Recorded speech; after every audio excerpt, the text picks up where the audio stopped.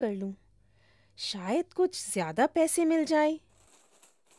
Aladdin की माँ ने साफ़ करने के लिए जैसे ही चिराग को जरा सा घिसा कि तभी